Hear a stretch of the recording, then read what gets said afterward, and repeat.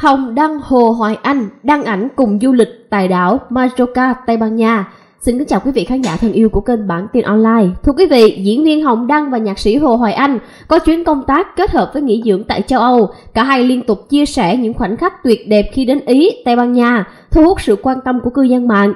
Trong chuyến đi, Hồng Đăng Hồ Hoài Anh cùng gia đình thăm thú nhiều nơi tại Ý như là thủ phủ Trevo và đảo Majorca, Tây Ban Nha. Nếu như Hồ Hoài Anh kín tiếng hơn trong việc chia sẻ hình ảnh thì diễn viên Thương Ngày Nắng Về Hồng Đăng liên tục cập nhật những khoảnh khắc của bản thân trong chuyến công tác kết hợp nghỉ dưỡng này.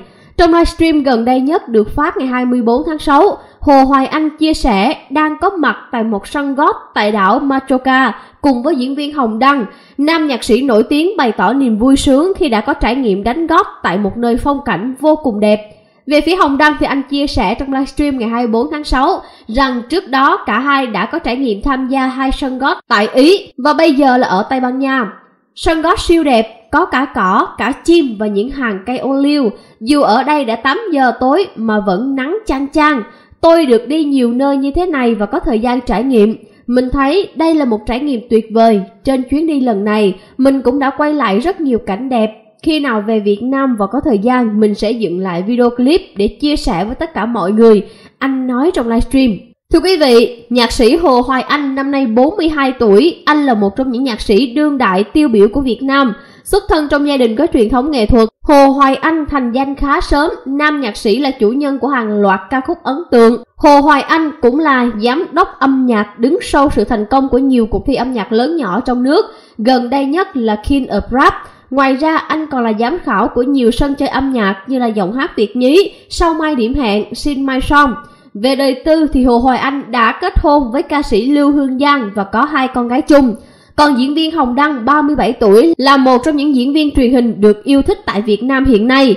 Anh được biết đến qua các bộ phim nổi đình nổi đám như là Cầu vòng tình yêu, Chỉ có thể là yêu, Tuổi thanh xuân, Hướng dương ngược nắng, với ngoại hình điển trai, diễn xuất ổn định, Hồng Đăng đang là gương mặt phủ sóng các bộ phim truyền hình khu vực phía Bắc. Năm 2016 thì Hồng Đăng từng đoạt giải nam diễn viên truyền hình xuất sắc nhất tại giải thưởng Cánh Diều Vàng. Hiện tại, vai diễn Đức trong bộ phim truyền hình Thương Ngày Nắng Về của Hồng Đăng cũng đang gây chú ý với khán giả. Bên cạnh sự nghiệp diễn xuất nổi bật, Hồng Đăng có một cuộc sống gia đình hạnh phúc cùng vợ và hai con gái.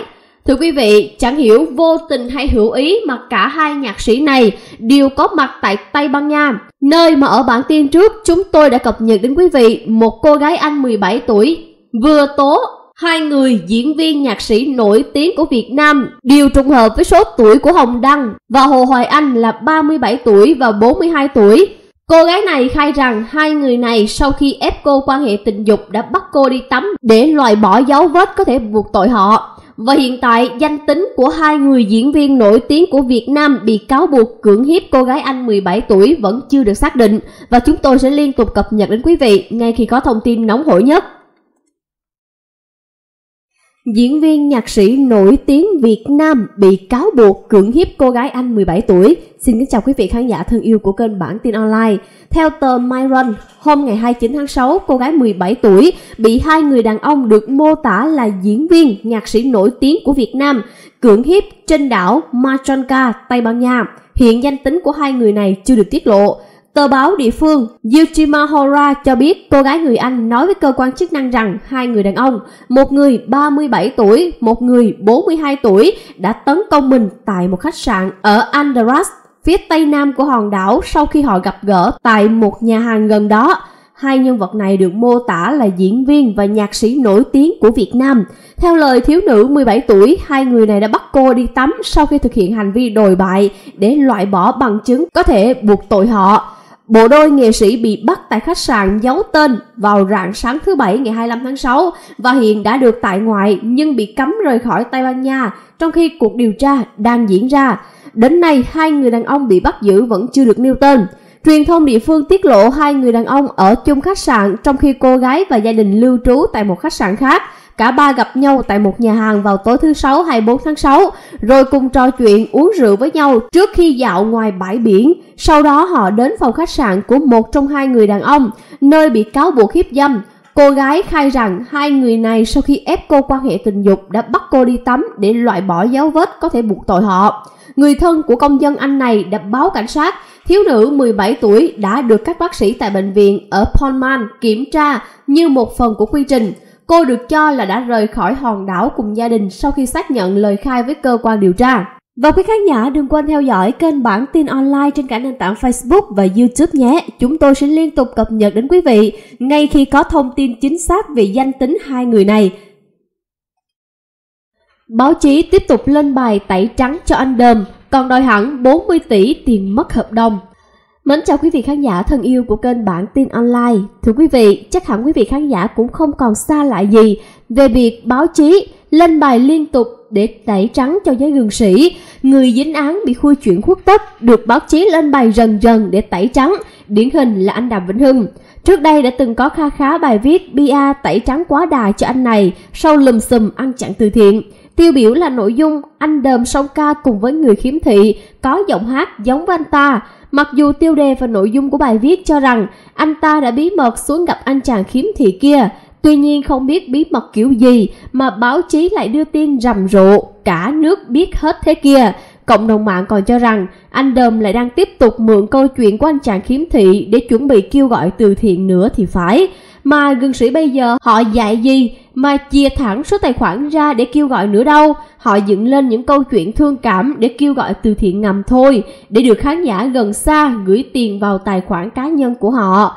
Mới đây thêm một bài tẩy trắng nữa của báo Thanh niên dành cho anh Đờm với tiêu đề Đàm Vĩnh Hưng tiết lộ thời điểm bị bà Phương Hằng réo tên Tôi bị mất hợp đồng 40 tỷ Không biết là anh Đờm có đang nói quá lên để câu giá cá xê hay không đây nhỉ bởi vì với tài ăn không nói có của anh Đờm thì cũng có thể lắm chứ Fan của anh ta không biết được mấy người, Không có bài hit, Toàn những bài hát làm màu lố lăng Cũng chẳng ai nhớ nổi anh từng đóng quảng cáo gì nổi bật Ấy vậy mà giờ tờ báo nọ dám hát với tiêu đề, anh đờm mất hợp đồng 40 tỷ vì bà Phương Hằng thì có quá hay không đây? Tẩy trắng làm sao cho khéo léo để người ta tin một chút chứ? Tẩy trắng gì đâu mà khó tin quá vậy? Đây không phải là lần đầu tiên Đàm Vĩnh Hưng bị cộng đồng mạng bóc mẽ chuyện nói dối, khoe của hay là lừa lọc khán giả đâu. Trước đây anh ta cũng bị cư dân mạng phốt việc nói dối trắng trợn về việc mất đôi giày hàng hiệu khi biểu diễn ở Bắc Ninh.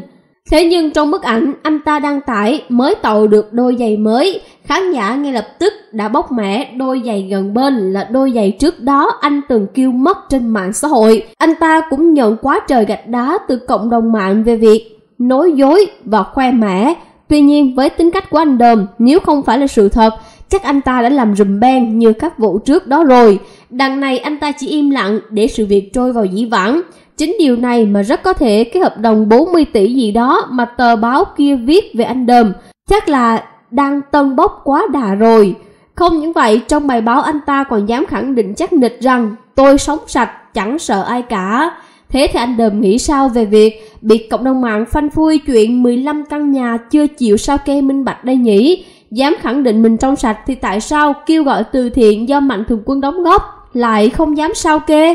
Kêu gọi từ thiện 15 căn nhà từ đời nào rồi, nhưng có dám một lần sao kê hay chưa? Vậy thì đừng lên tiếng thanh minh tôi trong sạch hay không nữa. Trong sạch hay không thì chứng minh đi, đừng chỉ nói miệng như vậy. Rồi vụ từ thiện miền Trung vừa rồi, anh có chịu sao kê đâu mà bảo mình trong sạch. Chắc là sạch hơn anh bốn một chút thôi, tại anh bốn là yểm luôn, còn anh ít nhiều cũng đi phát vài thùng mì, xây một hai căn nhà đăng lên rồi đúng không? Anh bảo anh sạch mà lừa dối khán giả trong khi đã kết hôn với bầu sô liên phạm để có tấm thẻ xanh cơ á. Anh Đờm tự nhận mình là hiền hơn trước rất nhiều sau vụ lùm xùm với bà Phương Hằng. Người đời có câu giang sơn dễ đổi, bản tính khó dời. Nói anh Đờm hiền thì cũng không hẳn, mà nói thẳng ra là anh phải giữ im lặng trước lùm xùm với bà Phương Hằng. Bởi bà Phương Hằng nói đúng quá rồi, anh Đờm đâu thể làm gì được hơn. Biết đâu lỡ miệng nói sai là bị cư dân mạng khui ra hàng loạt những khuất tất nên nói anh đờm hiền là chưa đúng đâu, bởi anh có bao giờ hiền đâu, chỉ là sợ quá nên im lặng, không dám đấu tố với bà Phương Hằng nữa thôi. Kiểu gặp đúng đối thủ rồi ấy. Đến khi bà Phương Hằng bị bắt tạm giam thì ngoi lên làm màu làm mè, ăn mừng, đánh bóng tên tuổi, mở live show này kia. Thử hỏi sau lúc bà Phương Hằng bạch trần thì không dám hát hò ca múa, rồi sao không dám tung sao kê ra đi. Hơn nữa, trong bài phỏng vấn với báo Thanh niên, anh còn cho biết một trang Facebook hay một trang bán hàng nào đó mời thôi thì thôi, cái đó hơi rẻ, tự mình đem mình xuống bùn. Ừ thì anh đâu có quảng cáo cho trang Facebook nào, anh chỉ quảng cáo cho thực phẩm chức năng dỗm cùng với những gừng sĩ thân quen như Hồng Vân, Quyền Linh, Việt Hương, rồi thổi phồng công dụng của nó lên tận trời xanh. Người biết điều thì còn lên tiếng xin lỗi, kẻ mạnh miệng thì nhẫn nhơ như chưa có chuyện gì xảy ra, bị VTV chỉ mặt thẳng mà tưởng mình thanh cao trong sạch. Thế mới nói gừng sĩ chẳng xem công chúng ra gì cả, họ chỉ xem khán giả như một công cụ kiếm tiền mà thôi, mà điển hình là việc mượn tên tuổi để lợi dụng tình thương của công chúng, kêu gọi từ thiện. Anh Đờm, anh Bốn, Trấn Thành, Đại Nghĩa, Việt Hương, Thủy Tiên, những cái tên cốt cán kỳ cựu, những cái tên vàng trong làng kêu gọi từ thiện, không ai là không biết, rồi còn kinh doanh trên chính sức khỏe, tính mạng của khán giả. Cho đến giờ khi bà Phương Hằng bị tạm giam, hết bài báo này đến bài báo kia lên bài tẩy trắng cho anh Đờm ra rã. Thế nhưng sau loạt lùm xùm từ thiện trên, khán giả bây giờ họ đã khác trước rất nhiều rồi. Anh chị gương sĩ có tẩy trắng bao nhiêu cũng phí công vô ích. Thử hỏi lướt hết các diễn đàn trên mạng xã hội, thấy anh Đờm ở đâu là cộng đồng mạng lại ngán ngẩm ở đó. Thiết nghĩ có hàng trăm bài tẩy trắng đi nữa thì phản ứng của khán giả cũng vậy thôi. Sự thật thì mãi là sự thật, ăn chặn thì có mấy đời đi nữa cũng còn vết nhơ.